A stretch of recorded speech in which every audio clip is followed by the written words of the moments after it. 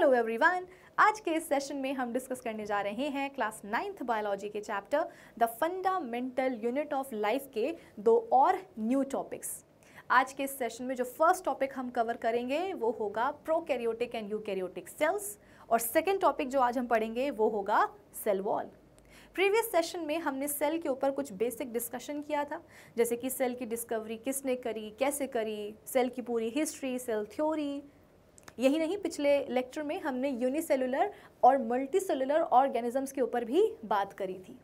और इतना सब कुछ पढ़ने के बाद इन सारे टॉपिक्स के ऊपर हमने कुछ क्वेश्चंस भी सॉल्व कर लिए थे अपने डीपीपी के थ्रू तो अब जब हमने इतना सब कुछ पढ़ ही लिया है तो अब बारी आती है अपने चैप्टर में और आगे बढ़ने की और नए टॉपिक्स को पढ़ने की। तो यही है, आज के हमारे सेशन का टारगेट होपफुली आप सभी को समझ में आया होगा। तो अब एक काम करते हैं, अपने टारगेट को अचीव करने के लिए आइए हम करते हैं अपने सेशन की शुरुआत। So this is Vibhuti Khare welcome to definite success Pathshala एक ऐसा प्लेटफॉर्म जहाँ पर आपको प्रोवाइड करवाई जाती है, एकदम क्वालिटी एजुकेशन एक ऐसा प्लेटफॉर्म जहाँ पर एक चीज़ डेफिनेट है और वो है आप सभी की सक्सेस तो इसी अच्छी बात से हम शुरू कर लेते हैं आज का हमारा ये सेशन जहाँ पर हम अपने चैप्टर के कुछ न्यू टॉपिक्स को डिस्कस करेंगे। ठीक है? आ जाओ स्टार्ट कर लेते हैं। अब देखो वैसे कि इससे पहले कि हम प्रोकैरियोटिक एंड यूकैरियोटिक सेल्स के ऊपर बात करें, मैं ये चाहती हूँ कि आपकी एन बुक में ना एक छोटू सा टॉपिक दिया हुआ है। तो पहले हम उसको फटाफट से पढ़ लेते हैं। तो उस छोटू से टॉपिक को हम पढ़ते हैं और उसके बाद में हम बात करते हैं प्रोकैरियोटिक एंड यूकैरियोटिक सेल्स की, ठीक है? और फिर उसके बाद में हम कहानी पढ़ेंगे सेल वॉल की। तो सबसे पहले शुरुआत हम कर लेते हैं एन के उस छोटू से टॉपिक के साथ राइट अब वो है क्या? छोटू सा टॉपिक वो है cell size shape and number basically इस टॉपिक में हम सेल्स के शेप उनके साइज़ और उनके नंबर की बात करते हैं. अब देखो ऐसा है बेटा कि सेल्स का जो नंबर है, इस टॉपिक के ऊपर एक्चुअली सब टॉपिक के ऊपर हम ऑलरेडी अपने पिछले लेक्चर में बात कर चुके हैं। कैसे? अरे भाई, हमने यूनिसेलुलर और मल्टी सेलुलर ऑर्गेनिजम्स की बात करी थी ना। यूनिसेलुलर ऑर्गेनिजम्स क्या होते हैं? कुछ ऐसे ऑर्गेनिजम्स जिनकी बॉडी में ले दे करके एक ही सेल होता है। उनको हम सिंगल सेल्ड ऑर्गेनिजम्स भी बोल सकते हैं। जैसे कि एक बैक्टीरियम बॉडी में एक ही सेल होता है। पैरामीशियम बॉडी में एक ही सेल है। अमीबा बॉडी में एक ही सेल है। वहीं कुछ ऑर्गेनिजम्स ऐसे भी होते हैं जिनकी बॉडी में बहुत सारे सेल्स होते हैं। बहुत दूर नहीं जाएँगे, अपनी ही बात कर लेते हैं। अपनी खुद की बॉडी की बात कर लेते हैं। बेटा, हमारी बॉडी में तो billions and trillions of cells होते हैं काउंटलेस नंबर ऑफ़ सेल्स होते हैं हमारी बॉडी में। तो हम अपने आप को क्या बोलेंगे? या हम जैसे जो बाकी ऑर्गेनिजम्स हैं, जिनकी बॉडी में बहुत सारे सेल्स हैं, उनको हम क्या बोल देंगे? उनको हम बोल देंगे मल्टी सेलुलर ऑर्गेनिजम्स बॉडी में बहुत सारे सेल्स हैं। अब कितने सेल्स हैं, उससे मतलब नहीं है। बस इतना समझ लो कि हाँ एक से ज़्यादा सेल्स है ना मतलब मल्टी सेलुलर ऑर्गेनिजम्स ठीक है? तो यूनिसेलुलर और मल्टी सेलुलर ऑर्गेनिजम्स की कहानी पढ़ने के बाद कहीं ना कहीं हमें ये समझ में आ जाना चाहिए कि ऑर्गेनिज्म टू ऑर्गेनिज्म सेल्स का नंबर वेरी करता है I repeat organism to organism cells का जो नंबर है बेटा, वो डेफिनेटली वेरी करता है. मतलब आप ये नहीं बोल सकते कि मैम चलो ठीक है, हमने मान लिया कि cell is the structural and functional unit of life हमने मान लिया, लेकिन अब हमारी कंडीशन ये है कि इस प्लैनेट अर्थ पर जितने भी लिविंग ऑर्गेनिजम्स हैं, छोटे, बड़े, मोटे, नाटे पतले दुबले कैसे भी, इस प्लैनेट अर्थ पर जितने भी लिविंग ऑर्गेनिजम्स हैं, सभी में, सभी की बॉडी में सेल्स का नंबर सेम होना चाहिए कॉमन होना चाहिए। जैसे कि अमीबा है, उसकी बॉडी में एक ही सेल है। तो फिर हम जो है ह्यूमन बींग्स की बॉडी हमारी बॉडी में भी केवल एक सेल होना चाहिए। क्यों? क्योंकि अमीबा की बॉडी में एक सेल है तो हमारी बॉडी में भी एक ही सेल होना चाहिए। सामने जो है वो एक, ये बैनियन ट्री है। इसकी बॉडी में भी एक ही सेल होना चाहिए। ये सामने गुलाब का पौधा रखा हुआ है, वो भी तो एक लिविंग ऑर्गेनिज्म ही है ना बेटा प्लांट है ना वो भी। तो उसकी बॉडी में भी एक ही सेल होना चाहिए। क्यों? क्योंकि अमीबा की बॉडी में एक सेल है। अब एक एग्ज़ाम्पल अपन लेते हैं, एक चीटी। मान लो कि चीटी की बॉडी में दस हज़ार सेल्स हैं। अब मुझे नहीं पता एग्जैक्टली exactly कितने सेल्स होते हैं चीटी की बॉडी में। मान लो हम हम एक एग्ज़ाम्पल ले लेते हैं रफली कि एक चीटी की बॉडी में छोटी सी चीटी होती है है ना? उसकी बॉडी में दस हज़ार सेल्स है। तो हम बोलेंगे कि नहीं मैम देखो, इस छोटी सी चीटी की बॉडी में दस हज़ार सेल्स है ना। तो अब इस प्लानट अर्थ पर जितने भी लिविंग ऑर्गेनिजम्स हैं, हर एक की बॉडी में जो है दस हज़ार सेल्स ही होने चाहिए। बाकी हमें किसी चीज़ से और मतलब नहीं है। हम ऐसा नहीं बोल सकते। क्यों? क्योंकि ऑर्गेनिज्म टू ऑर्गेनिज्म बेटा सेल्स का नंबर वेरी करता है। और ये चीज़ आपको अपने दिमाग में बिठा लेनी चाहिए। हमारे प्लैनेट अर्थ पर कितने सारे लिविंग ऑर्गेनिजम्स हैं? बहुत सारे हैं। और सभी की बॉडी में सेल्स का नंबर वेरी करेगा। है ना? जैसे कि मान लो, अगर हम प्लांट्स की बात करें तो मेरे पास एक छोटो सा गुलाब का पौधा है, ठीक है? और दूसरी तरफ़ मेरे पास एक यूकेलिप्टस ट्री है। आपने यूकेलिप्टस यूकिलिप्टिस का पेड़ आई होप देखा होगा। चलो छोड़ो यूकिलिप्टिस छोड़ो, अगर नहीं देखा तो मैंगो ट्री ले लेते हैं, ठीक है? मेरे पास एक छोटा सा गुलाब का पौधा है रोज़ प्लांट और एक मेरे पास क्या है मैंगो ट्री है। मतलब बड़ा है, काफ़ी बड़ा है। कहने को तो दोनों ही पौधे हैं, दोनों ही प्लांट्स हैं, लेकिन फिर भी इनकी बॉडी में सेल्स का नंबर क्या करेगा? वेरी करेगा। ऑब्वियसली गुलाब का पौधा छोटा है साइज़ में छोटा है तो उसमें सेल्स का नंबर कम होगा। दोनों ही मल्टी सेलुलर ऑर्गेनिजम्स है बेटा। गुलाब का पौधा भी और वो मैंगो ट्री दोनों ही क्या हैं? प्लांट्स हैं और दोनों ही मल्टी सेलुलर ऑर्गेनिजम्स हैं। लेकिन यदि हम गुलाब के पौधे की बात करेंगे तो वो छोटा सा पौधा है तो उसमें सेल्स का नंबर कंपेरेटिवली कम होगा। और आम का पेड़ तो बहुत ऊँचा होता है, बहुत लंबा होता है ना, उसकी डिफरेंट ब्रांचेस होती हैं पत्तियाँ होती हैं फ्रूट्स भी उस पर लटके होते हैं मैंगो है ना कच्ची कैरी। गर्मियों का मौसम आ गया, अब तो खूब खाएँगे कच्ची कैरी, है ना? तो वो तो पेड़ कितना बड़ा होता है? तो कहने को तो वो भी क्या है? मल्टी सेलुलर ऑर्गेनिज्म उसकी बॉडी में भी बहुत सारे सेल्स हैं। लेकिन हाँ रोज प्लांट के कंपैरिजन में उसकी बॉडी में बहुत सारे सेल्स होंगे काउंटलेस सेल्स होंगे। राइट ऐसे ही आप ह्यूमन uh, बींग्स का भी एग्ज़ाम्पल ले सकते हो कि सपोज़ uh, आपके सामने मैं खड़ी हुई हूँ और वहीं आपके सामने एक छोटा सा न्यू बॉर्न बेबी है। न्यू बॉर्न बेबी और मैं। हम दोनों ही इंसान हैं, हम दोनों ही ह्यूमन बींग्स हैं और हम दोनों ही क्या हैं मल्टी सेलुलर ऑर्गेनिजम्स हैं। लेकिन अगर मैं न्यूबॉर्न बेबी की बात करूँ, छोटे से बच्चे की बात करूँ तो डेफिनेटली उसकी बॉडी में होंगे बहुत सारे सेल्स लेकिन मेरे कंपैरिजन में उसकी बॉडी में नंबर ऑफ़ सेल्स कम होंगे क्योंकि वो छोटा सा है और मैं उससे बड़ी हूँ हेल्थ में हाइट में एज में। तो ऑब्वियसली मेरी बॉडी में नंबर ऑफ़ सेल्स क्या होंगे? ज़्यादा होंगे। है ना? तो ये बात अपने दिमाग में बस फिक्स कर लो कि ऑर्गेनिज्म टू ऑर्गेनिज्म सेल्स का नंबर वेरी करेगा। मैं तो कहती हूँ, तुम लोग इसको यहाँ ना, यहाँ पर लिख भी लो। अपने शब्दों में लिख लो कि ऑर्गेनिज्म टू ऑर्गेनिज्म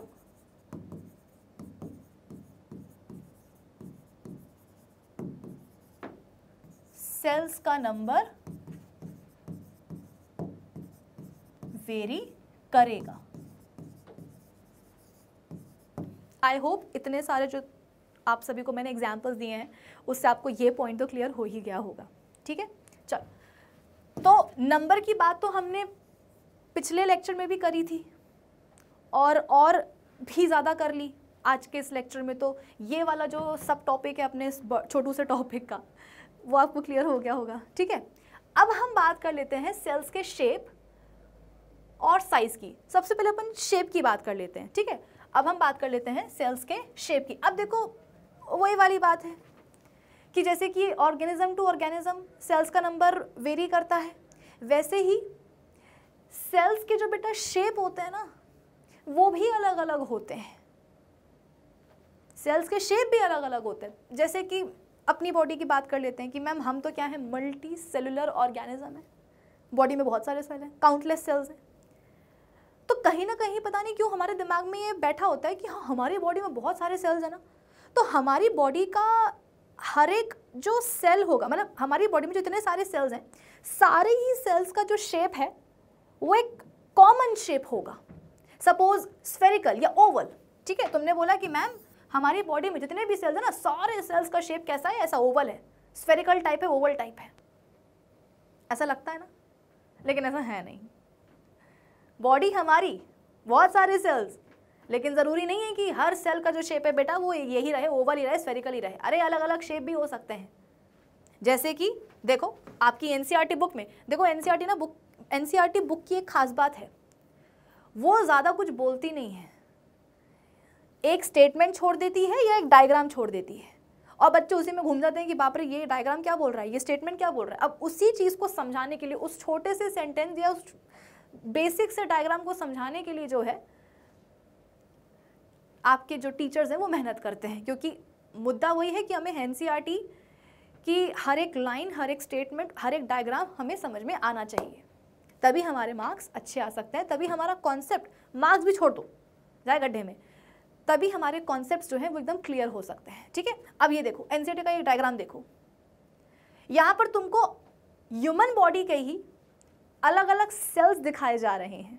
मैंने क्यों अपनी बॉडी का एग्ज़ाम्पल लिया? क्योंकि एनसीईआरटी भी वही बात बोल रही है। देखो, ये है नर्व सेल का डायग्राम ये हमारी बॉडी का नॉट हमारी बॉडी का, बेटा ये लॉन्गेस्ट सेल होता है। It is the longest cell longest बोला है। लार्जेस्ट नहीं बोला है। लार्जेस्ट पता है क्या होता है? कौन सा सेल होता है? ऑस्ट्रिच का अंडा। मुर्गी का अंडा तुम लोगों ने देखा होगा, खाया भले ही ना होगा, लेकिन देखा तो होगा, कुछ बच्चों ने खाया भी होगा। वो अंडा क्या है बेटा? वो एग क्या है? वो एग एग एग आप बोल सकते हो कि सेल ही तो है। मुर्गी का जो अंडा होता है ना, वो क्या है? एक सेल ही तो है। एक सेल ही तो है। और वहीं एक ऑस्ट्रिच आपने देखी होगी, बर्ड बहुत बड़ी सी होती है। एक पता नहीं कौन सा देश है, मुझे याद नहीं आ रहा है। उस पर तो जो है ना, ऑस्ट्रिच पर बैठ के रेस भी लगाते हैं लोग।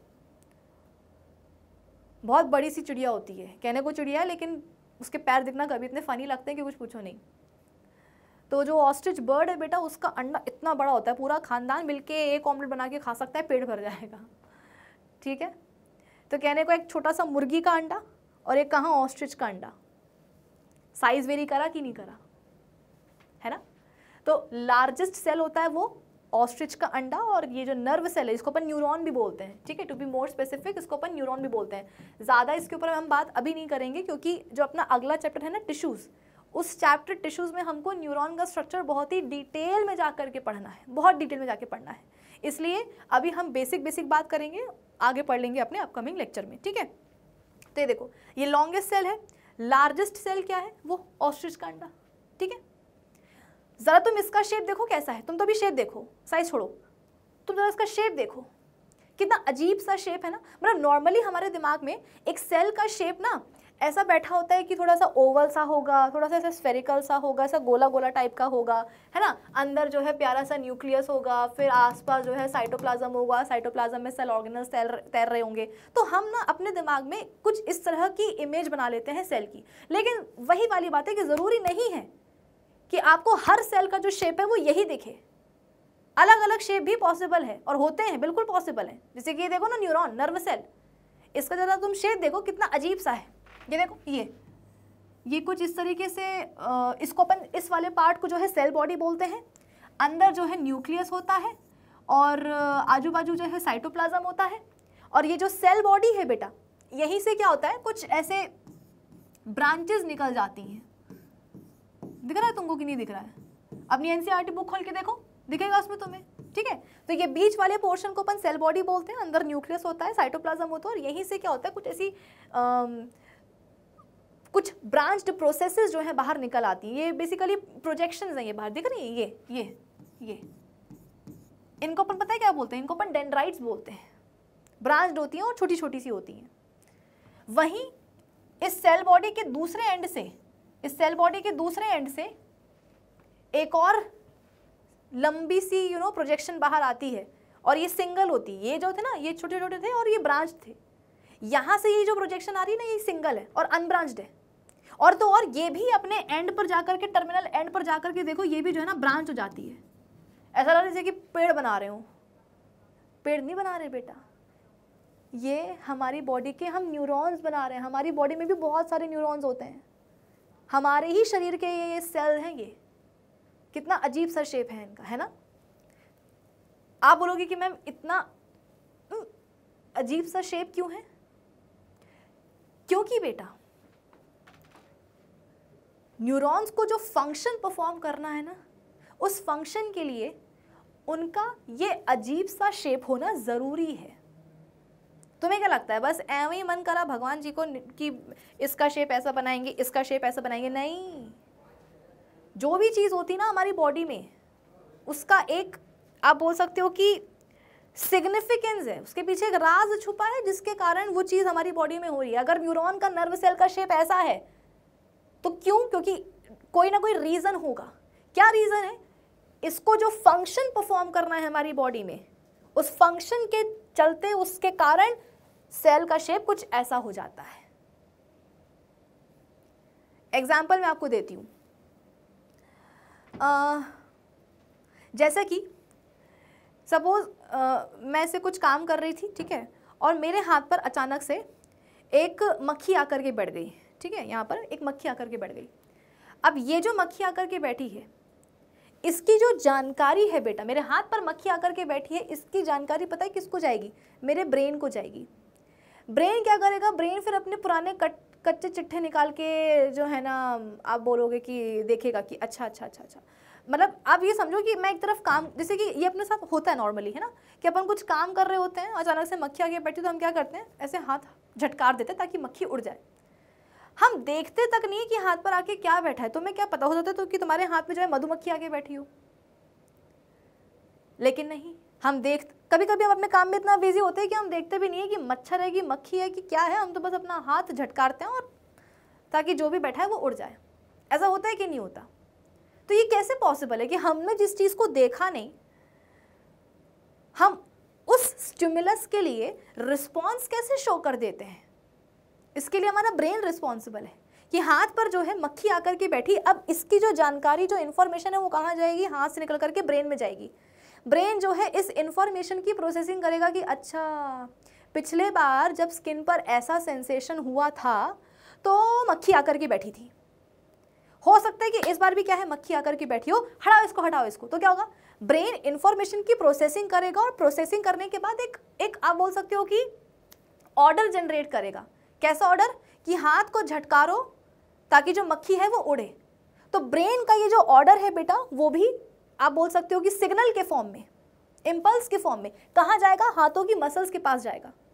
और फिर क्या होगा? मसल्स ऐसे कॉन्ट्रैक्ट रिलैक्स करेंगी, जिसके कारण अपना हाथ क्या होगा? ऐसे झटकारेंगे हम, और जो मक्खी है वो उड़ जाएगी। तो बेटा ये जो इंफॉर्मेशन गई ना, मक्खी की बैठने की ब्रेन के पास, और ब्रेन का जो ऑर्डर इम्पल्स के फॉर्म में या सिग्नल के फॉर्म में पहुँचा हाथ की मसल्स के पास ये कैसे हो रहा है आना जाना? तो बेटा, ये आना जाना होता है इन्हीं न्यूरॉन्स के कारण। जैसे कि तुम्हारी स्किन है, ठीक है? इस पर मक्खी आकर के बैठ गई। ठीक है? ये मक्खी आकर के बैठ गई। अब ये मक्खी लग नहीं रही है, पर मान लो कि ये मक्खी है। ये तुम्हारा ब्रेन है। ठीक है? ये ब्रेन की चोटी।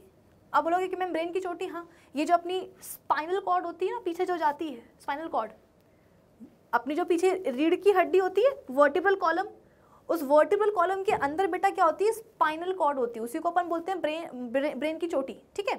तो ये स्किन पर आपकी जो है ना, वो बैठी है, मक्खी बैठी है। इसकी जानकारी किसको जानी है? ब्रेन तक जानी है।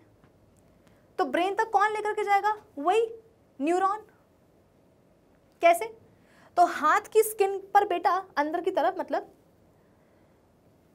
यहाँ पर एक न्यूरॉन होगा। ये न्यूरॉन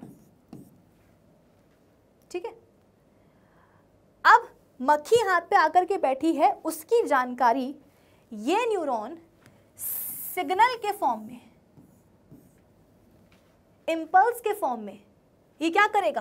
कैप्चर करेगा। भाई, जैसे कि आपने वो क्रिकेटर्स लोगों को मतलब क्रिकेट खेलते हुए तो आप लोगों ने देखा ही होगा ना, अपने ये क्रिकेटर लोगों को। जैसे कि अगर फील्डिंग करनी होती है या बॉल कैच करनी होती है तो हमारे क्या करते हैं? स्पोर्ट्स पर्सन कि अपने हाथ को, अपनी उंगलियों को ऐसा फैला लेते हैं ना? ताकि बॉल को पकड़ लिया जाए, उसको कैप्चर कर लिया जाए। वैसे ही ये जो न्यूरॉन है बेटा, ये जो सेल है, इसको क्या करना है? मक्खी की बैठने की जो जानकारी है, जो इंफॉर्मेशन है, उसको कैप्चर करना है ट्रैप करना है।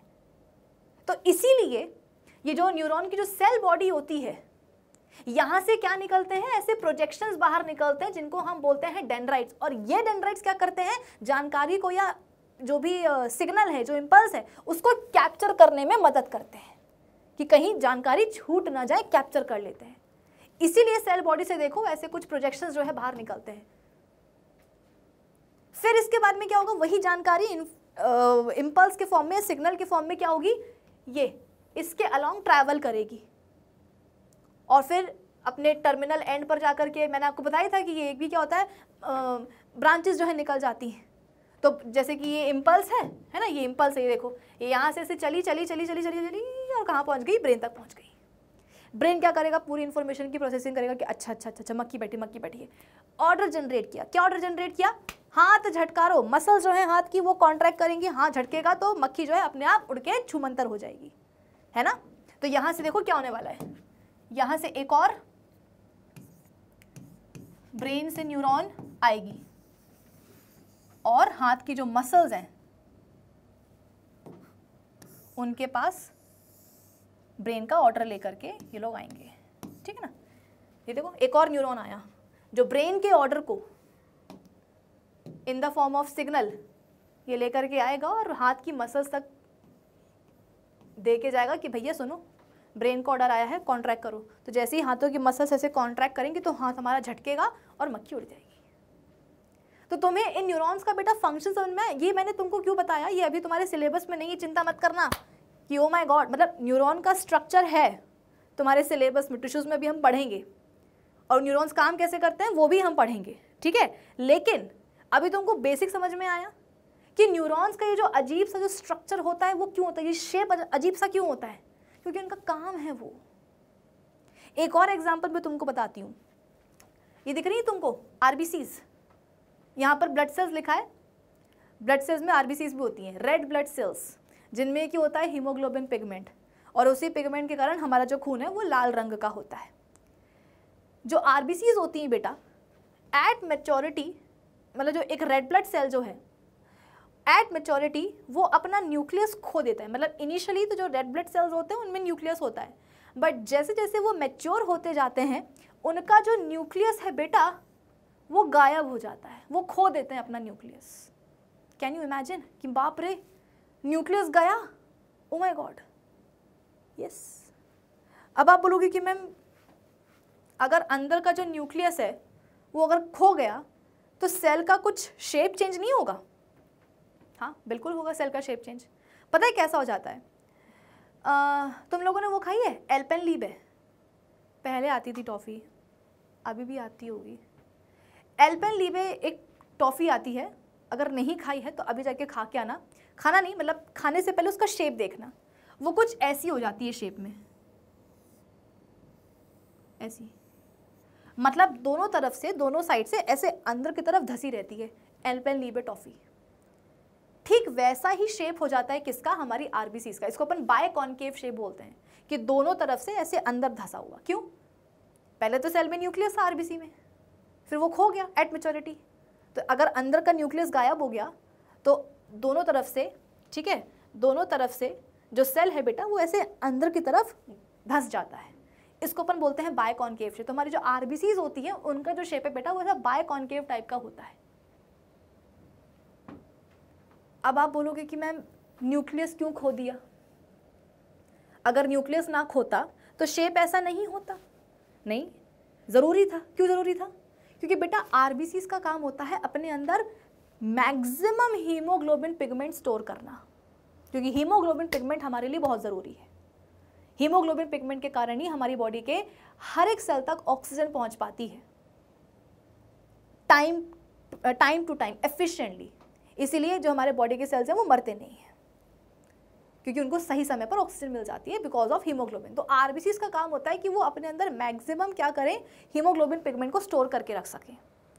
और उसी जल्दबाजी में क्या होता है, ये लोग बोलते हैं कि, अरे यार, हमें तो मैक्सिमम हीमोग्लोबिन अपने अंदर स्टोर करना है। क्या करें क्या करें, जगह नहीं जगह नहीं। क्या करते हैं? न्यूक्लियस को हटा देते हैं कि हटाओ इसको। न्यूक्लियस हटेगा, जगह बनेगी तो वहाँ पर भी क्या होगा हीमोग्लोबिन आकर के स्टोर हो जाएगा। ठीक है? जैसे कि ये दिख रहा है तुमको स्पर्म, ये ये स्पर्म। इसकी टेल होती है। मेल गैमिट है। अब आप बोलोगे कि मैम स्पर्म की टेल क्यों है?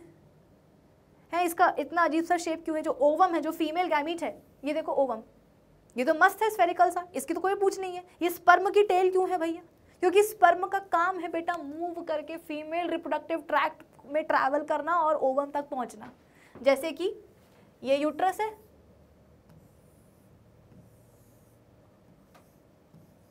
ठीक है? और ये वजाइना है। ये फेलोपियन ट्यूब है। यहाँ पर ओवम बैठा हुआ है। ये बैठा हुआ है ओवम और स्पम्स कहाँ आ गए? स्पम्स आ गए यहाँ वजाइना में। अब स्पम्स को पहुँचना है ओवम तक। कैसे पहुँचेंगे? ये तो आने नहीं वाला, नीचे। स्पम्स को ही पहुँचना पड़ेगा ऊपर। तो कैसे करेंगे? वो तैर के जाएँगे। फीमेल रिप्रोडक्टिव ट्रैक में बेटा, ये जो स्पम्स होता है ना, ये ट्रैवल करते हैं, ये मूव करते हैं, ये स्विम करते हुए जाते हैं। इनको ट्रैवल करना पड़ता है और तब जा कर के ये पहुँच पाते हैं ओवम तक, तब जा कर के फर्टिलाइजेशन होता है, तब जाके जाइगोट बनता है और एक नए जीवन की शुरुआत होती है। पर बात यह है कि ये स्पर्म्स यहाँ तक पहुँचेंगे कैसे? तो ऑब्वियसली इनके पास कुछ होना चाहिए ना, तब तो ये मूव कर पाएँगे, तैर पाएँगे। तो क्या करें? इनको हाथ पाँव दे दे क्या? नहीं, इनको हम टेल दे सकते हैं। तो इनके पास क्या होती है? टेल होती है, ताकि ये स्विम करते करते करते ओवम तक पहुँच जाए। तो हर एक सेल का बेटा जो भी शेप है उसके फ़ंक्शन के कारण उसका वो शेप उसने अक्वायर किया है। जैसे कि जो हमारे मसल सेल्स होते हैं, वो ऐसे फाइबर लाइक होते हैं। ये दिख रहा है ये? ये देखो स्मूथ मसल्स है। ये देखो कैसा है? फाइबर लाइक है, धागे जैसा है। क्यों? क्योंकि उसका, हमारी बॉडी में जो फ़ंक्शन है ना, उस वजह से। उसका शेप ऐसा है। ये देखो ये क्या? ये फैट सेल है। जितना भी हम फैट खाते हैं ना बेटा अल्टीमेटली इन्हीं फैट सेल्स में जाकर के स्टोर होता है।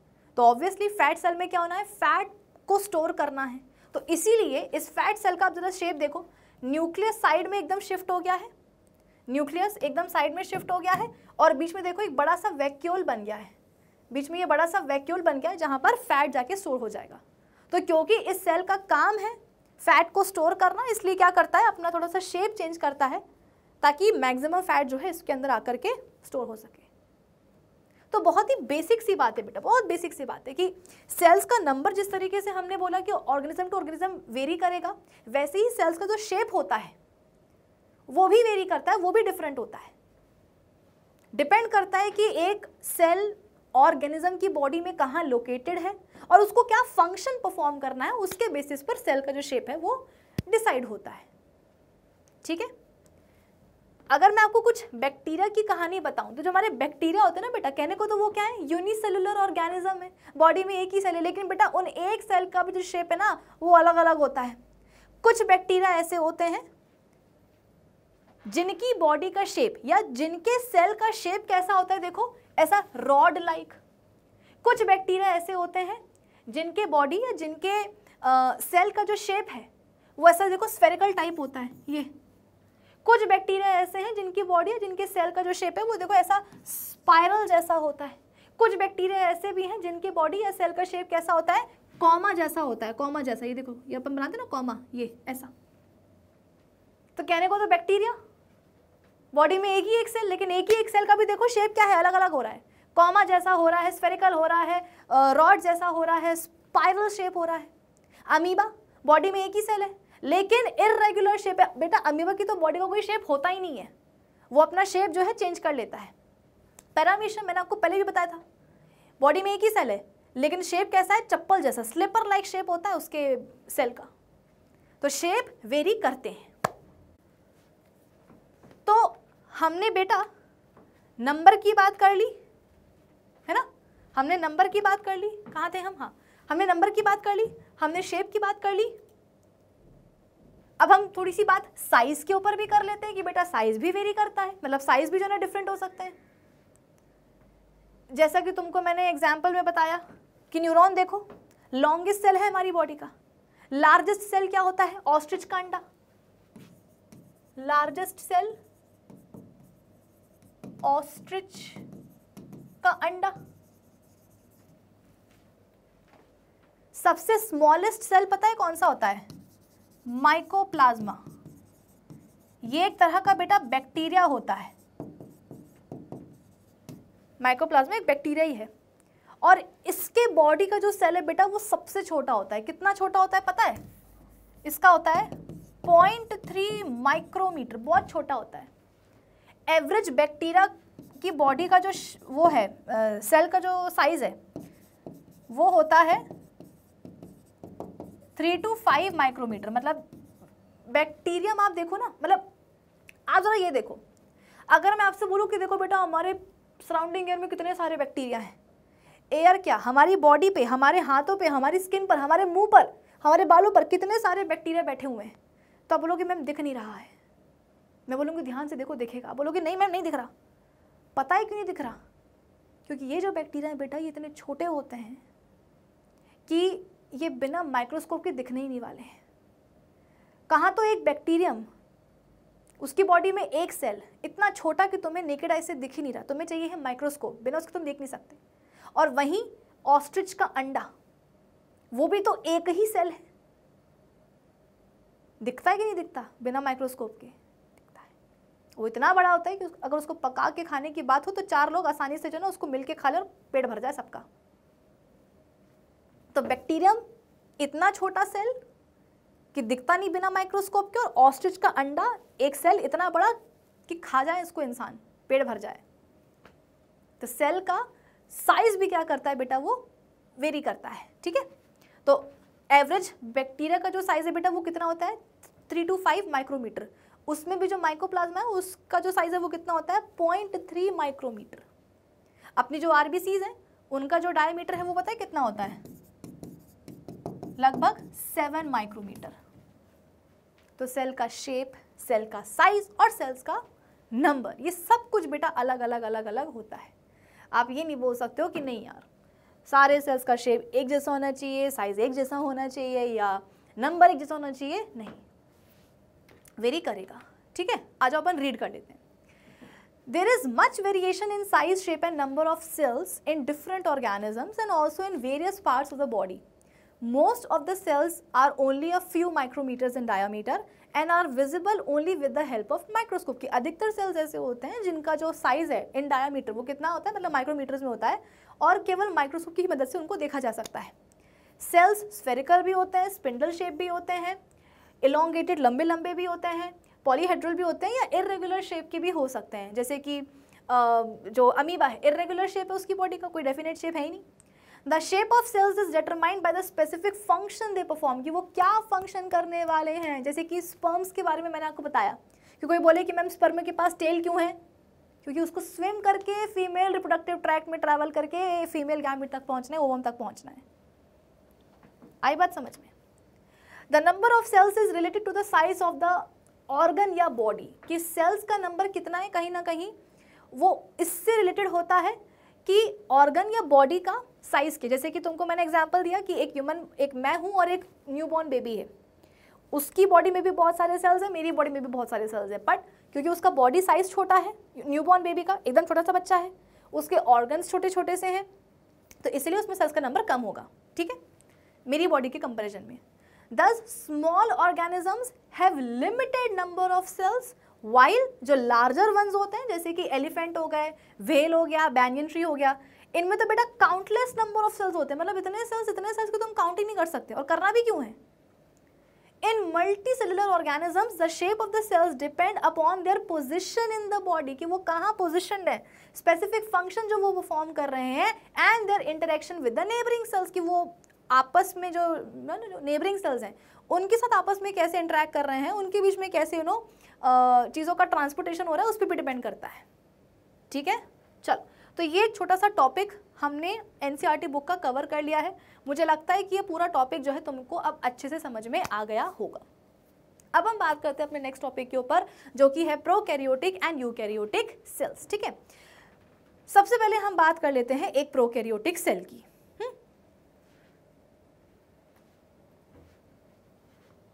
प्रोकैरियोटिक सेल को समझाने के लिए मैं तुम्हें एक बात बताती हूँ। और तुम उस बात को एकदम ध्यान से सुनना, ठीक है?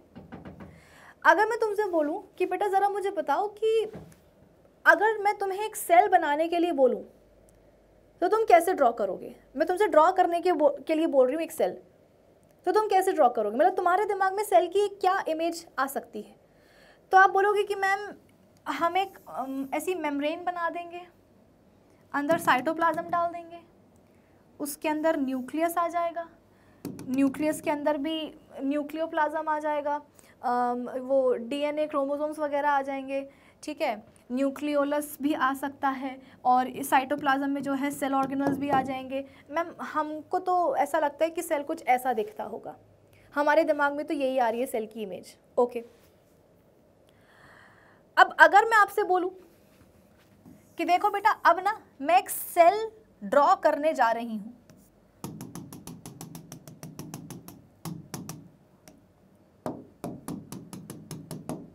ठीक है? हम्म। मैंने कहा देखो बेटा मैंने भी एक सेल ड्रॉ करा है। देखो कितना अच्छा सेल है। देखो इसकी कितनी अच्छी आ, सेल मेम्ब्रेन है। देखो इसका कितना अच्छा साइटोप्लाज्म है। देखो इसका कितना सुंदर न्यूक्लियस है। बेटा अब हम पहुँच चुके हैं अपने नेक्स्ट टॉपिक के ऊपर प्रोकैरियोटिक एंड यूकैरियोटिक सेल्स के ऊपर ठीक है ना? उसी को समझाने के लिए तुमको यहाँ पर मैं एक बात बता रही हूँ कि तुमसे मैंने पूछा कि बेटा तुम्हारे दिमाग में सेल की क्या इमेज है? तो तुमने उठा करके ये बना दी कि हाँ ये सेल मेम्ब्रेन हो गई साइटोप्लाज्म हो गया न्यूक्लियस हो गया, अंदर उसके जो है ना न्यूक्लियोप्लाज्म हो गया डीएनए हो गया क्रोमोजोम हो गया, ठीक है। अब तुमसे मैंने बोला कि तुम्हारी इमेज मैंने देख ली है सेल की। अब तुम ये देखो देखो मैंने भी क्या करा है? सेल ड्रॉ करा है। ये देखो कितनी शानदार सेल मेम्ब्रेन है। देखो कितना शानदार मैंने साइटोप्लाज्म बनाया है। देखो मैंने कितना सुंदर जो है ना, अंदर न्यूक्लियस के अंदर का न्यूक्लियर मटेरियल बनाया है। देखो मैंने कितना सुंदर न्यूक्लियस बनाया है। तो आप बोलोगे कि मैम, एक मिनट। सेल मेम्ब्रेन तो दिख रही है। साइटोप्लाज्म भी दिख रहा है। कोशिश करने पर चलो हम थोड़ा सा न्यूक्लियर मटेरियल भी देख लेंगे। लेकिन मैम न्यूक्लियस दिख नहीं रहा है। मैं बोलूँगी कि अरे यार, ऐसे कैसे? बनाया तो है, देखो इतना सुंदर न्यूक्लियस बनाया तो है। क्या बोलोगे कि नहीं मैम, दिख नहीं रहा है। मैं बोलूँगी नहीं, ध्यान से देखो, दिखेगा न्यूक्लियस आप बोलोगे कि मैम, कितने भी ध्यान से देख लें माइक्रोस्कोप लगा के देख लें, लेकिन सेल का जो न्यूक्लियस है ना, वो कुछ समझ में ही नहीं आ रहा है कि कहाँ से शुरू हुआ, कहाँ ख़त्म। है, इससे अच्छा तो न्यूक्लियस हमने बनाया था। ये देखो, कितना बढ़िया न्यूक्लियस शानदार न्यूक्लियस हमने बनाया था। हमें तो अभी सेल ऑर्गनल्स के बारे में पता तक नहीं है मैम। हमें तो अभी सेल के बारे में पढ़ाई तक नहीं करी अभी तक हमने नाइन्थ में आकर के। लेकिन फिर भी देखो, आपसे ज़्यादा अच्छा हमने सेल का स्ट्रक्चर ड्रॉ करा है। देखो न्यूक्लियस कितना डिफाइंड नज़र आ रहा है कि ढूँढने की ज़रूरत नहीं पड़ेगी। अपने आप दिखेगा कि देखो ये है न्यूक्लियस साइटोप्लाज्म में। और आपने देखो कैसा बनाया है, हैं? इतना ढूंढ रहे लेकिन फिर भी जो है ना न्यूक्लियस नहीं दिख रहा। ऐसा नहीं है कि मैंने न्यूक्लियस के अंदर का न्यूक्लियर मटेरियल नहीं बनाया है। बनाया तो है, बेटा। मैंने न्यूक्लियस के अंदर का न्यूक्लियर मटेरियल बनाया है। लेकिन फिर भी न्यूक्लियस नहीं दिख रहा। लेकिन इसमें दिख रहा है, क्यों? बस एक चीज़ का डिफरेंस है यहाँ पर, एक चीज़ का डिफरेंस और वो है, न्यूक्लियस को सराउंड करने वाली उसकी मेम्ब्रेन उसकी कवरिंग उसका एनवलप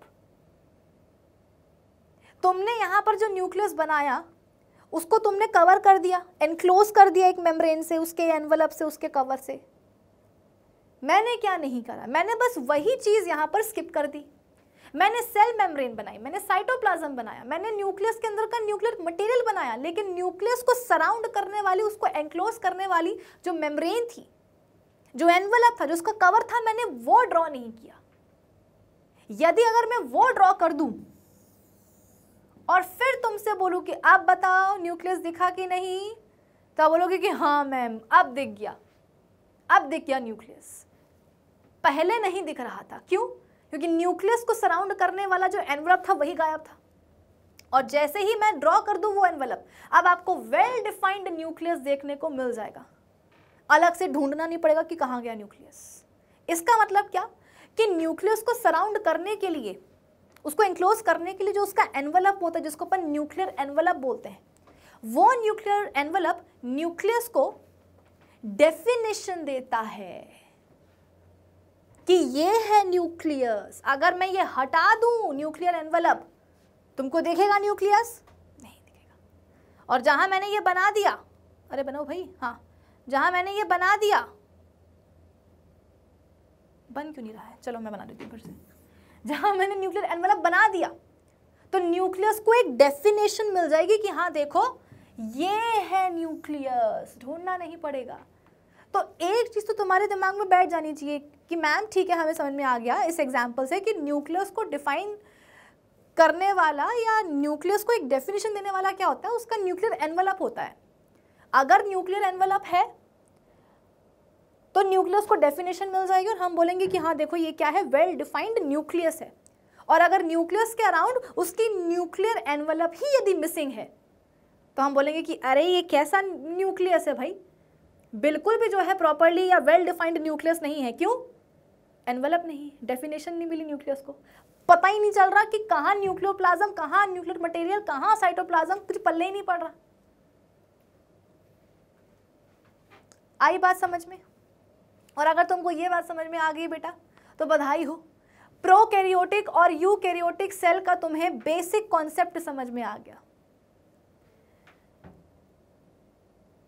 यहाँ पर जो इनिशियली मैंने ड्रॉ करा था, वो था प्रोकैरियोटिक सेल और जो तुमने ड्रॉ करा था अपनी समझ से, वो है यूकैरियोटिक सेल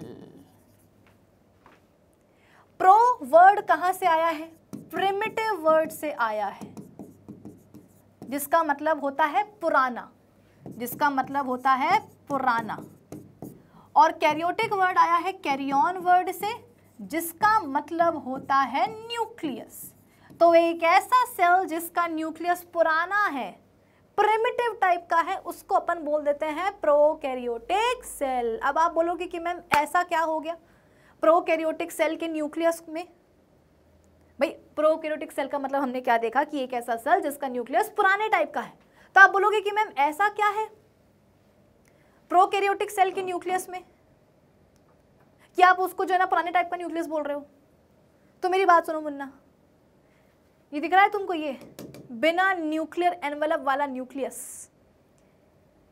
एकदम आप बोल सकते हो कि वेल डिफाइंड न्यूक्लियस तो ये बिल्कुल भी नहीं है। तो इसी तरह के बेटा सेल को तो अपन बोलते हैं प्रोकैरियोटिक न्यूक्लियस प्रिमिटिव टाइप के न्यूक्लियस होने का मतलब क्या है? प्रिमिटिव टाइप के न्यूक्लियस के होने का मतलब यह है कि न्यूक्लियस को डिफाइन करने वाला, जो उसको सराउंड करता है ना न्यूक्लियर एनवलप जब वो ही मिसिंग हो तो उसको हम बोलेंगे प्रिमिटिव टाइप का न्यूक्लियस पुराने टाइप का न्यूक्लियस और ऐसे न्यूक्लियस वाले सेल को अपन क्या बोलेंगे? प्रोकैरियोटिक सेल पुराना न्यूक्लियस होने का मतलब समझ में आ गया ना? ये तुमको मैंने पहले भी एग्ज़ाम्पल दिया था इंट्रोडक्शन वाले सेशन में कि पहले के टाइम पर जो मोबाइल फ़ोन्स आते थे वो कीपैड वाले होते थे। काम तो उससे भी चलता था। ऑब्वियसली जो कीपैड वाले फ़ोन्स थे वो लैंडलाइन से तो बेहतर ही थे। फ़ोन उससे भी कर सकते थे मतलब कॉलिंग उससे भी कर सकते थे मैसेजिंग उससे भी कर सकते थे गेम उसमें भी खेल सकते थे, लेकिन इसके अलावा ज़्यादा उसमें ना एडवांस फीचर्स नहीं होते थे, एकदम बेसिक बेसिक टाइप के फीचर्स होते थे कीपैड वाले फ़ोन में। ठीक वैसे ही। जब धरती पर जीवन की शुरुआत हुई, तुमको पता है कि इस धरती पर, इस प्लेनेट अर्थ पर सबसे पहला जो ऑर्गेनिज्म आया था रहने के लिए वो कौन सा था? वो था बैक्टीरिया बैक्टीरिया से ही बेटा क्या हुआ? फिर और जीवन की, और ऑर्गेनिजम्स की शुरुआत हुई। सबसे पहले तो बैक्टीरिया ही आए थे धरती पर रहने के लिए। फिर उनसे और नए नए नए नए ऑर्गेनिजम्स आते गए। तो जब धरती पर जीवन की शुरुआत हुई थी, उस समय जो ऑर्गेनिजम्स आए ऑब्वियसली पुराने ज़माने की बात हो रही तो वहाँ पर जो ऑर्गेनिजम्स आए होंगे, वो कैसे होंगे? पुराने टाइप के ऑर्गेनिजम्स रहे होंगे, जैसे कि बैक्टीरिया साइनो बैक्टीरिया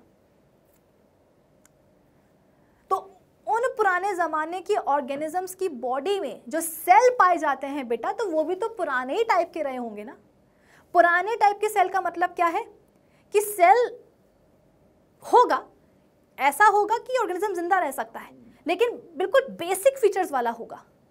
पुराने टाइप का सेल होगा मतलब कि एक ऐसा सेल जिसका न्यूक्लियस पुराने टाइप का होगा मतलब कि एक ऐसा सेल जिसके पास वेल डिफाइंड न्यूक्लियस नहीं होगा। एक ऐसा सेल जिसके न्यूक्लियस को सराउंड करने वाला न्यूक्लियर एनवेलप ही गायब होगा। उसको अपन बोलते हैं प्रिमिटिव टाइप का सेल उसको अपन बोलते हैं पुराने टाइप का सेल और ये प्रिमिटिव टाइप का सेल कहाँ पाया जाता था? प्रिमिटिव ऑर्गेनिजम्स में जो सबसे पहले धरती पर रहने के लिए आए थे, जैसे कि बैक्टीरिया आज भी जो बेटा बैक्टीरिया एग्जिस्ट करते हैं ना, उनके पास यही सेल्स होते हैं। क्योंकि वो प्रिमिटिव ऑर्गेनिजम्स बहुत पहले एग्जिस्ट करते थे। और बहुत पहले मतलब क्या? बेसिक फीचर्स वाले। बेसिक फीचर वाला सेल जैसे कि न्यूक्लियस को सराउंड करने वाला एनवेलप ही नहीं है। वेल डिफाइंड न्यूक्लियस ही नहीं है। लेकिन फिर भी सेल ज़िंदा है ऑर्गेनिज्म ज़िंदा है, सब बढ़िया है। बेसिक फीचर्स अब आई बात समझ में, कि एक प्रोकैरियोटिक सेल का मतलब क्या होता है? एक ऐसा सेल जिसके न्यूक्लियस को सराउंड करने वाला न्यूक्लियर एनवेलप ही गायब हो। यानी कि एक ऐसा सेल जिसका न्यूक्लियस वेल डिफाइंड बिल्कुल भी ना हो, उसको अपन बोलते हैं प्रोकैरियोटिक सेल। और वो ऑर्गेनिजम्स जिनमें कि प्रोकैरियोटिक सेल्स पाए जाते हैं, उनको अपन बोलते हैं प्रोकैरियोटिक ऑर्गेनिजम्स, जो थे हमारे प्रिमिटिव ऑर्गेनिजम्स जैसे कि बैक्टीरिया। ठीक है? वहीं हम बात करते हैं अब किसकी? यूकैरियोटिक सेल की। यू का मतलब क्या होता है? ट्रू। यू का मतलब क्या होता है? ट्रू। एक ऐसा सेल जिसका न्यूक्लियस कैसा हो? बिल्कुल ट्रू हो। ट्रू मतलब सच बोलता हो क्या? नहीं। एक ऐसा सेल जिसका न्यूक्लियस वेल डिफाइंड न्यूक्लियस हो, न्यूक्लियस को सराउंड करने वाला क्या हो? उसका एनवलप हो। ताकि प्रॉपर डेफिनेशन मिल जाए न्यूक्लियस की हाँ देखो, ये है न्यूक्लियस। तो ऐसा सेल जिसके पास वेल डिफाइंड न्यूक्लियस हो, जिसके पास ट्रू न्यूक्लियस हो उसको हम बोल देते हैं यूकैरियोटिक सेल और वो ऑर्गेनिज्म जिनमें की यूकैरियोटिक सेल्स पाए जाते हैं, उनको अपन क्या बोलते हैं? यूकैरियोटिक ऑर्गेनिजम्स ट्रू न्यूक्लियस का मतलब यही होता है बेटा वेल डिफाइंड न्यूक्लियस एक ऐसा न्यूक्लियस जिसके आसपास क्या हो, उसकी न्यूक्लियर एनवलप हो. जैसे कि हम मेजॉरिटी बेटा जो इतने भी हमारे मल्टी सेलुलर ऑर्गेनिजम्स है ना उनकी बॉडी में जो सेल्स पाए जाते हैं, वो एक्चुअली यूकैरियोटिक सेल्स ही होते हैं, जैसे कि हमारी बॉडी में इतने सारे सेल्स हैं। हर एक सेल कौन सा होगा? यूकैरियोटिक सेल होगा। भाई प्रोकैरियोटिक सेल्स तो क्या है? वो वाले सेल्स ना जो मतलब जो प्रिमिटिव ऑर्गेनिजम्स में पाए जा रहे थे। तो प्रिमिटिव ऑर्गेनिजम्स खुद ही क्या थे? बहुत ही सिंपल टाइप के थे। तो उनके अंदर जो सेल थे, वो भी बहुत ही सिंपल एकदम बेसिक टाइप के थे। जैसे कि प्रोकैरियोटिक सेल अब जो नए ऑर्गेनिजम्स आए वो तो एडवांस फीचर वाले होंगे। तो उनके बॉडी में जो सेल पाए जाते हैं बेटा, वो कौन से पाए जाते हैं? एडवांस टाइप के मतलब कि यूकैरियोटिक सेल्स तो जो मल्टी सेलुलर ऑर्गेनिजम्स होते हैं बेटा, उनकी बॉडी में जो सेल्स पाए जाते हैं, वो यूकैरियोटिक सेल्स ही होते हैं। वहीं अगर हम बात करेंगे यूनिसेलुलर ऑर्गेनिजम्स की तो आपको लगेगा कि मैम शायद जितने भी यूनिसेलुलर ऑर्गेनिजम्स हैं, उन सभी की बॉडी में जो है ना प्रोक्यूरेटिक सेल पाए जाते हैं। नहीं! जितने भी मल्टी सेलुलर ऑर्गेनिज्म है, उनकी बॉडी में हर एक सेल कैसा होता है? यूक्यूरेटिक सेल होता है। लेकिन जब हम बात करते हैं यूनिसेलुलर ऑर्गेनिजम्स की तो जो प्रिमिटिव यूनिसेलुलर ऑर्गेनिजम्स हैं, जैसे कि बैक्टीरिया उनकी बॉडी में पाए जाते हैं प्रोकैरियोटिक सेल्स और जो नए ज़माने के ऑर्गेनिजम्स हैं यूनिसेलुलर जैसे कि अमीबा वगैरह हो गया, है ना? आप बोल सकते हो कि यूग्लिना वगैरह हो गया, है ना? जो नए ज़माने की जो यूनिसेलुलर ऑर्गेनिजम्स हैं उनकी बॉडी में एक ही सेल होगा, लेकिन वो एक सेल भी कैसा होगा? यूकैरियोटिक होगा। तो जितने भी मल्टी सेलुलर ऑर्गेनिजम्स हैं, उन सभी की बॉडी में यूकैरियोटिक सेल्स जो यूनिसेलुलर ऑर्गेनिजम्स हैं, उनमें भी आप बोलोगे कि जो बैक्टीरिया हैं, उनमें पाए जाते हैं प्रोकैरियोटिक सेल बाकी जो यूनिसेलुलर ऑर्गेनिजम्स हैं, उनमें भी पाए जाते हैं यूकैरियोटिक सेल्स तो आई होप यहाँ तक की पूरी कहानी आपको अच्छे से समझ में आ गई होगी। अब ये पूरी कहानी को सुनने और समझने के बाद कहीं ना कहीं आपके दिमाग में एक सवाल आ रहा होगा कि, मैम ओके okay, हमने मान लिया कि प्रोकैरियोटिक सेल्स क्या होते हैं यूकैरियोटिक सेल्स क्या होते हैं ठीक है हमने मान लिया। पर क्या सिर्फ़ यही एक बेसिक डिफरेंस होता है प्रोकैरियोटिक एंड यूकैरियोटिक सेल्स के बीच में? कि एक प्रोकैरियोटिक सेल के पास वेल डिफाइंड न्यूक्लियस नहीं होता क्योंकि न्यूक्लियस को सराउंड करने वाला न्यूक्लियर एनवलप नहीं होता। वहीं यूकैरियोटिक सेल के पास एक वेल डिफाइंड न्यूक्लियस होता है क्योंकि न्यूक्लियस को सराउंड करने वाला न्यूक्लियर एनवलप होता है। क्या सिर्फ़ यही डिफरेंस है? प्रोकैरियोटिक एंड यूकैरियोटिक सेल्स के बीच में? हाँ ये बेसिक डिफरेंस तो है। दोनों ही टाइप के सेल्स में, लेकिन सिर्फ़ यही डिफरेंस नहीं है। और भी डिफरेंसेस हैं between prokaryotic and eukaryotic cells जो न्यूक्लियस वाला है ना, ये तो बेसिक डिफरेंस है। इसके अलावा कुछ और भी डिफरेंसेस हैं। क्या? आ जाओ, सीधे अपन डिफरेंसेस की ही बात कर लेते हैं, ठीक है? ये भी अपन रीड कर लेंगे एक बार, लेकिन सीधे अभी अपन आ जाते हैं डिफरेंसेस पर। और डिफरेंसेस पर भी सबसे पहले हम बात करते हैं साइज़ की। क्यों? आपकी एनसीईआरटी बुक में भी साइज़ की बात करी गई है। देखो प्रोकैरियोटिक सेल के लिए हम बोलते हैं कि भैया ये जो सेल है प्रिमिटिव टाइप का सेल है। बेसिक बेसिक फीचर्स हैं, है ना? जैसे कि वो अपने जो पुराने ज़माने के जो कीपैड वाले फ़ोन्स आते थे नोकिया वाला, कितना छोटू सा होता था। सैमसंग का कितना छोटू सा होता था, है ना? तो ये जो प्रोकैरियोटिक सेल है बेटा, ये भी तो प्रिमिटिव टाइप का सेल है ना? तो इसका जो साइज़ है, वो छोटा ही होता है। कितना? वन टू टेन माइक्रोमीटर ये वैल्यू आपको याद करनी होगी, ठीक है?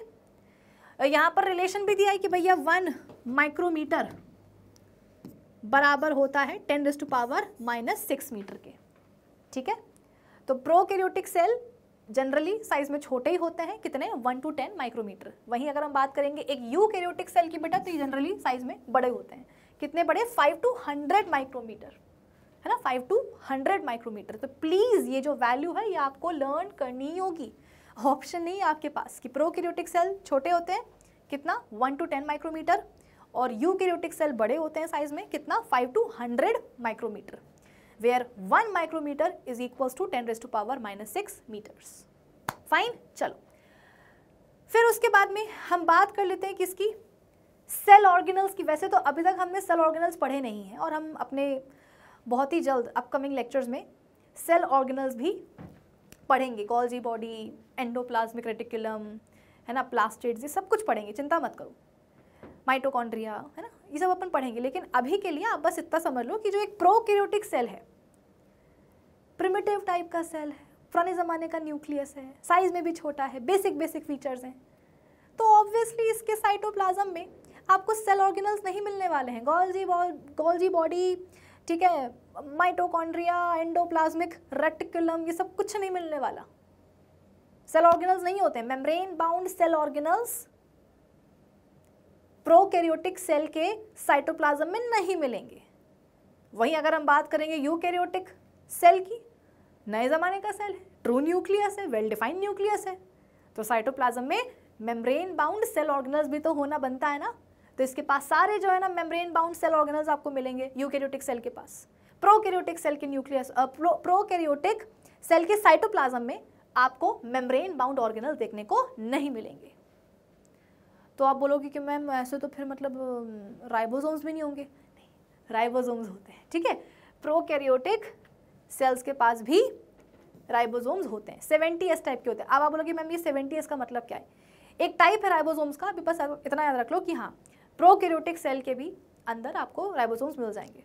और यू कैरियोटिक सेल तो है ही एडवांस टाइप का सेल तो इसके अंदर तो होंगे ही राइबोसोम्स होंगे इसके अंदर, है ना? एक होता है न्यूक्लियोलस जो पाया जाता है न्यूक्लियस के अंदर। एक्चुअली यहीं पर बनते हैं राइबोसोम्स ठीक है? यहीं पर बनते हैं राइबोसोम्स तो न्यूक्लियोलस प्रोकैरियोटिक सेल में नहीं होगा, लेकिन यूकैरियोटिक सेल में होगा, ठीक है? उसके अलावा सेल वॉल जो है, प्रोकैरियोटिक सेल की, जैसे कि बैक्टीरियम है बेटा, उसका जो एक सेल है, उसकी आउटर मोस्ट कवरिंग क्या होती है? सेल वॉल, है ना? सेल वॉल को भी अपन पढ़ेंगे। वो बनी होती है पेप्टिडोग्लाइकेन की। वही अगर हम बात करेंगे यूकैरियोटिक सेल की तो यूकैरियोटिक सेल में बेटा जो प्लांट सेल्स हैं, उनकी सेल वॉल बनती है सेलुलोज की। जो फंजाएँ हैं, उनकी सेल वॉल बनी होती है काइटिन की। और अगर हम बात करेंगे अपनी मतलब कि एनिमल सेल्स की तो एनिमल सेल्स के पास सेल वॉल होती ही नहीं है। तो प्रोकैरियोटिक सेल्स की सेल वॉल बनी होती है पेप्टिडोग्लाइकेन की। यूकैरियोटिक सेल में प्लांट्स की मतलब प्लांट सेल की जो सेल वॉल है, वो बनी होती है सेलुलोज की। फंजाई में जो सेल वॉल होती है उनकी फंगल सेल्स में सेल वॉल जो होती है, वो बनी होती है काइटिन की। बाकी एनिमल सेल्स में होती ही नहीं है, ठीक है? अब यहाँ पर आपको एक और बिटर टर्म देखने को मिलेगा न्यूक्लियोइड इसका क्या मतलब है? एक ऐसा न्यूक्लियस जिसके अराउंड उसकी न्यूक्लियर एनवलप मिसिंग हो, गायब हो। एक ऐसा न्यूक्लियस जिसको प्रॉपर डेफिनेशन ही नहीं मिली है। ऐसे अनडिफाइंड या पुअरली डिफाइंड न्यूक्लियस को हम क्या बोलेंगे? न्यूक्लियस नहीं बोलेंगे, उसको अपन बोलेंगे न्यूक्लियोइड। न्यूक्लियस तो वो होगा ना जिसको उसकी डेफिनेशन मिलेगी, जब एनवेलप पाई जाएगी आजू बाजू जब एनवेलप ही नहीं है, जब न्यूक्लियस दिख ही नहीं रहा, प्रॉपर डेफिनेशन ही नहीं है उसको तो न्यूक्लियस क्यों बोलेंगे? उसको अपन क्या बोलेंगे? न्यूक्लियोइड बोलेंगे। मतलब कि प्रोकैरियोटिक सेल के साइटोप्लाज्म में आपको न्यूक्लियस नहीं न्यूक्लियोइड मिलेगा। तो जेनेटिक मटेरियल जो होता है प्रोकैरियोटिक सेल में न्यूक्लियस के अंदर आपको पता है जेनेटिक मटेरियल होता है डीएनए आरएनए प्रोटीन्स वगैरह, है ना? अभी अपन पढ़ेंगे आगे जाकर के न्यूक्लियस के बारे में भी। तो जेनेटिक मटेरियल मतलब वही डीएनए आरएनए वगैरह, ठीक है? वो आप बोल सकते हो कि प्रोकैरियोटिक सेल में एंक्लोज नहीं होता है बाय न्यूक्लियर एनवलप और वो जो फिर जेनेटिक देखो, या तो आप बोलो कि जो जेनेटिक मटेरियल है, वो न्यूक्लियर एनवलप से कैसा है? सराउंडेड है. भाई देखो, जैसे कि ये सेल है साइटोप्लाज्म है न्यूक्लियस है, और उसके अंदर का ये जेनेटिक मटेरियल है. ठीक है? अगर तो इस जेनेटिक मटेरियल को सराउंड करने वाला एनवलप होगा। तो तो आप बोल सकते हो कि अंदर का जो जेनेटिक मटेरियल है, वो साइटोप्लाज्म से सेपरेटेड रहेगा। लेकिन अगर मैं बोलूँ कि जेनेटिक मटेरियल तो है जेनेटिक मटेरियल तो है, लेकिन वो न्यूक्लियर एनवलप से एनक्लोज्ड नहीं है तो ज़ाहिर सी बात है न्यूक्लियर मटेरियल जो है ना बेटा, वो साइटोप्लाज्म में ही सस्पेंडेड रहेगा। या तो आप उसको एक ढक्कन में बंद करके रखो। तो जेनेटिक मटेरियल जो है साइटोप्लाज्म से अलग रहेगा। और अगर आपने ढक्कन नहीं ढका तो जेनेटिक मटेरियल साइटोप्लाज्म में ही सस्पेंडेड रहेगा। ठीक है? तब ये लिखा हुआ है कि एन इज़ प्रेजेंट न्यूक्लियर जो मटेरियल है या genetic material it is suspended in the cytoplasm in a region और उसी को अपन क्या बोलते हैं? Nucleoid genetic material is enclosed within the nucleus by a nuclear envelope and it is not present in direct contact with the cytoplasm. वही है ना कि अगर ढक्कन ढका हुआ है तो जेनेटिक मटेरियल जो है वो साइटोप्लाज्म के कांटेक्ट में नहीं आएगा। और अगर एनवेलप ही नहीं होगा तो क्या होगा?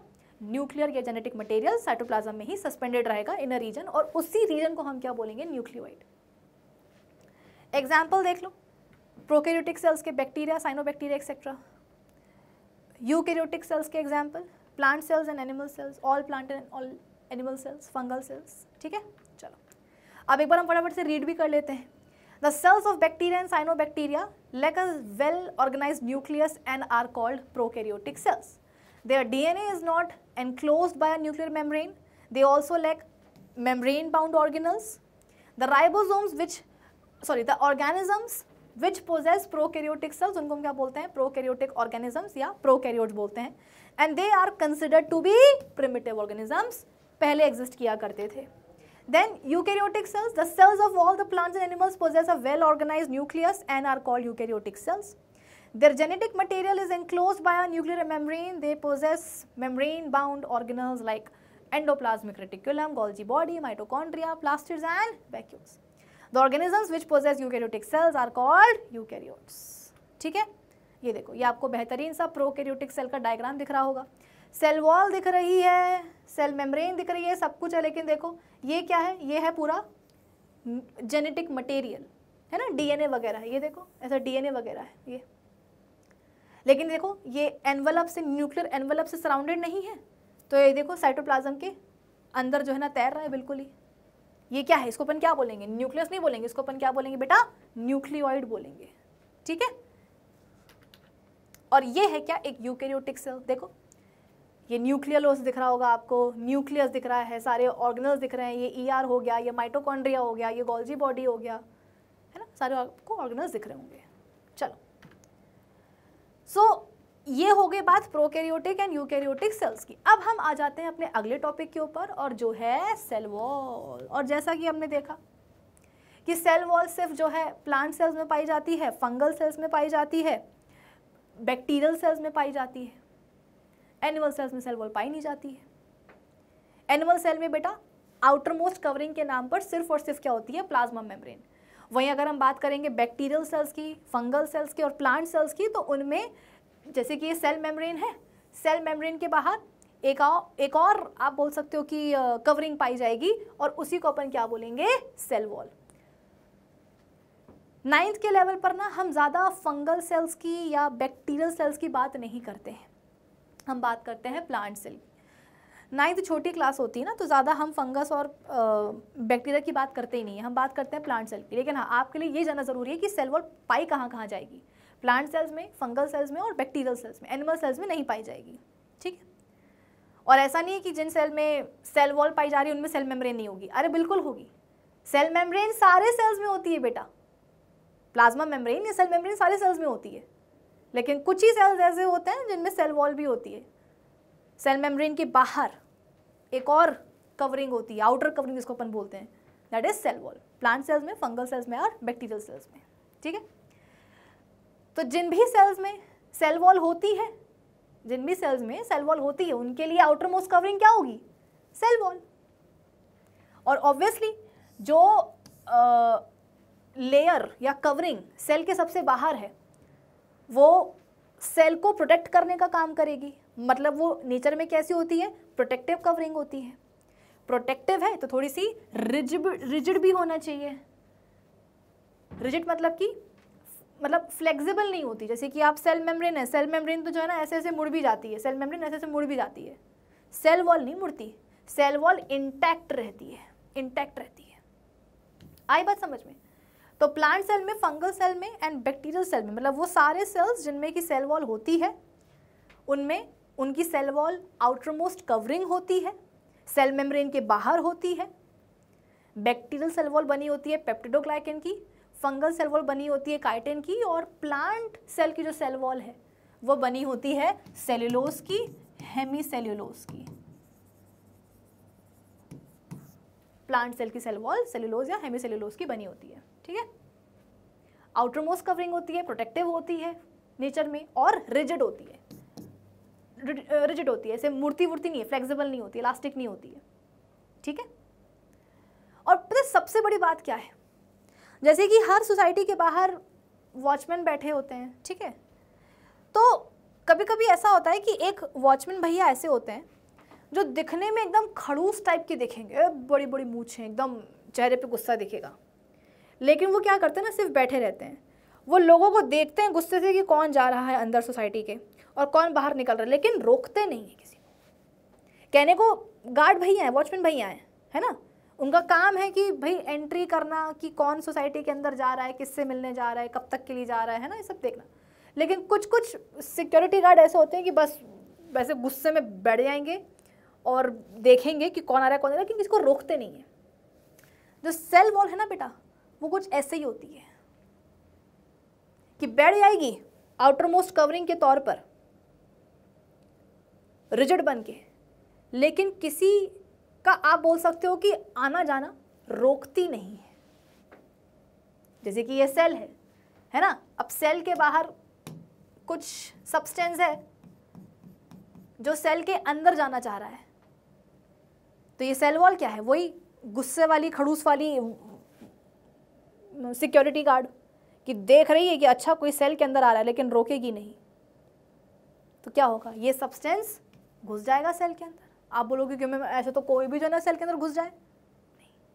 ये सेल मेम्ब्रेन है ना, ये बहुत समझदार होती है। ये सेल मेम्ब्रेन बोलती है कि सेल वॉल के बस की बात नहीं है। अब मैं ही डिसाइड करूँगी कि कौन सेल के अंदर आ सकता है और कौन सेल के बाहर निकल सकता है। कहने को तो आउटर मोस्ट प्रोटेक्टिव कवरिंग है सेल वॉल प्लांट किसी भी मतलब सेल की, जिसमें कि सेल वॉल होती है, लेकिन फिर भी रिजिड है, सब कुछ है, लेकिन फिर भी जो है ना, रोकती नहीं किसी को So, presence of cell wall in the plant cells distinguishes them from animals. Most of the plant cell walls are made up of cellulose. ठीक है उसके अलावा एक्चुअली सेल वॉल जो होती हैं, वो दो होती हैं प्राइमरी और सेकेंडरी जब सेल यंग रहता है तो उसके पास सिर्फ़ प्राइमरी सेल वॉल होती है। और जैसे जैसे सेल बड़ा होने लगता है सेकेंडरी सेल वॉल भी उसके अंदर डेवलप हो जाती है। ये देखो। ये देखो। जैसे कि ये यह आपको यहाँ पर तीन प्लांट सेल नज़र आ रहे होंगे, ठीक है? ये देखो। या आप यहाँ यहाँ देख लो। देखो, जैसे कि ये एक प्लांट सेल है। ये सेल वॉल हो गई प्राइमरी सेल वॉल ये सेल मेम्ब्रेन हो गई, है ना? This is primary cell wall और दिस इज़ प्लाज्मा मेम्ब्रेन तो जब प्लांट सेल यंग होता है, उसके पास प्राइमरी सेल वॉल होती है। फिर धीरे धीरे क्या होता है? इसके अंदर एक और सेल वॉल डेवलप हो जाती है लाइक दिस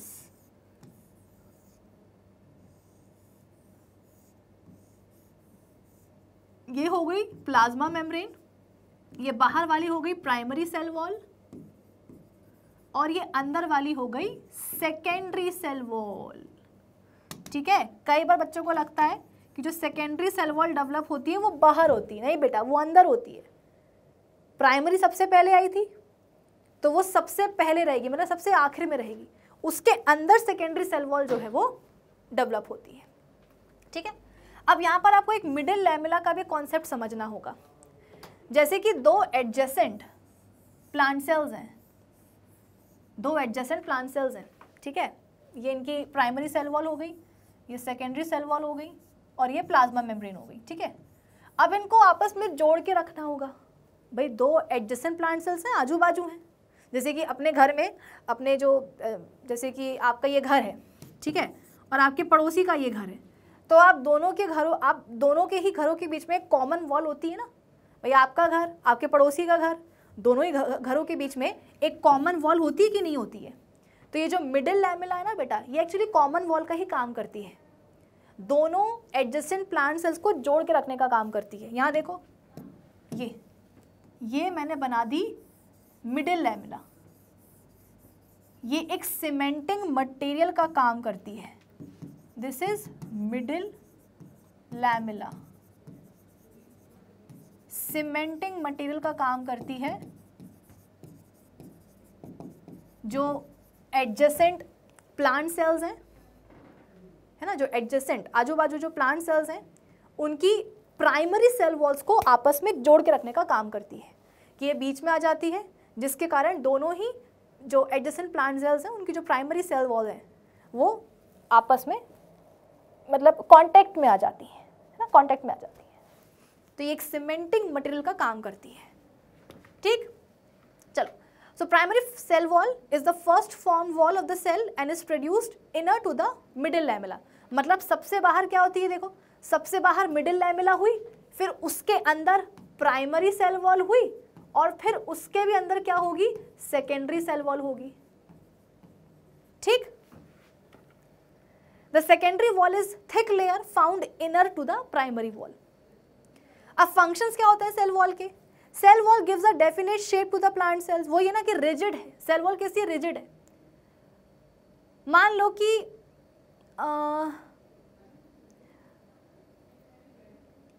मान लो कि एक एरिया मैंने बनाया, ठीक है? और इस एरिया की बाउंड्री बनाने के लिए मैंने क्या करा? प्लास्टिक के वो जो डिस्पोजेबल कप होते हैं ना, प्लास्टिक के डिस्पोजेबल कप की मैंने यहाँ पर बाउंड्री बना दी। ठीक है? मैंने सपोज़ ये ज़मीन का टुकड़ा खरीदा था। मैंने ये ज़मीन खरीदी थी, ठीक है? और इसके अराउंड इसकी बाउंड्री बनाने के लिए मैंने क्या करा? प्लास्टिक के जो डिस्पोजेबल कप होते हैं ना, मैंने वो रख दिए। वहीं मेरे दोस्त ने क्या करा? उसने भी ज़मीन खरीदी, लेकिन इसकी बाउंड्री बनाने के लिए उसने सीमेंट और ईंटों का इस्तेमाल करा। मतलब उसने क्या करा? आजू बाजू सीमेंट और ईंटों की दीवार जो है ना, खड़ी कर दी। अब तुम मुझे ये बताओ कि हम दोनों के ज़मीन में सुरक्षित ज़मीन किसकी होगी? ऑब्वियसली मेरे दोस्त की क्यों?